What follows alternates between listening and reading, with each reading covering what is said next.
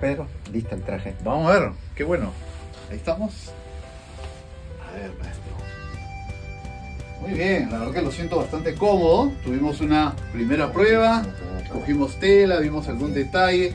La segunda que fue fundamentalmente el tema de chaqueta, que ha quedado bastante bien para mi gusto.